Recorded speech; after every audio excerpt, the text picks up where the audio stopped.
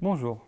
Pour faire pousser nos céréales ou nos légumes, on dépose parfois sur le sol du fumier, du lisier, des bouts de station d'épuration, du compost, enfin bref, une grande variété de matières fertilisantes que je vais appeler fumier pour la suite. Mais il y a un problème qui est devenu visible il y a quelques années. Les médicaments que prennent les animaux se retrouvent en partie dans les fumiers et donc dans l'environnement. Comment régler ce problème? Hmm, Question difficile. Comment, par où commencer? Il se trouve que j'ai lu un livre récemment, L'art de la guerre de Sun Tzu. Et Sun Tzu, le stratège militaire, a dit, à peu près, Connais ton adversaire et connais-toi, et ta victoire ne sera pas due au hasard. Connais la météo et connais le terrain, et ta victoire sera totale. Connais le terrain et ta victoire sera totale. En lisant ça, je me suis dit, hé, ça parle de ta thèse Alors je me suis renseigné. Ces enseignements sont appliqués à la guerre, mais également à l'économie, voyons voir ce que ça donnerait si nous l'appliquions à l'agriculture.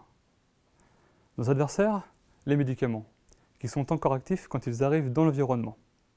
Nous savons que leur présence dans l'environnement, représentée ici, génère des problèmes comme la résistance aux antibiotiques ou la pollution des eaux et des plantes. Afin de connaître notre adversaire, nous allons simuler des champs de bataille, comme ceux représentés là.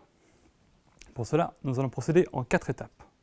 Primo, nous allons récupérer le matériel nécessaire à la création des champs de bataille. Il s'agit de prélever du fumier, qui est le moyen de transport utilisé par les médicaments, mais également du sol à différents endroits en France, afin de simuler une invasion sur nos terres. Secondo, nous allons construire les champs de bataille.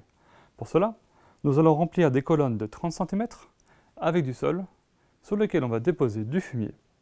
Et puisqu'il ne faut pas oublier la météo, nous allons simuler la pluie en arrosant. Tertio, Quelques jours plus tard, une fois le débarquement effectué, nous mesurons les médicaments à différents endroits dans la colonne. La mesure de la quantité de médicaments n'est pas la chose la plus facile. En effet, nos adversaires n'ont pas besoin d'être nombreux pour nous enquiquiner. Et puisque les médicaments ne sont pas très nombreux, ils sont donc difficiles à trouver. Finalement, pour chaque champ de bataille simulé, nous allons chercher tous les liens entre le comportement des médicaments et la nature du terrain. En utilisant une grande variété de fumier et de sol, nous pensons pouvoir prédire le comportement des médicaments avant même qu'ils ne débarquent.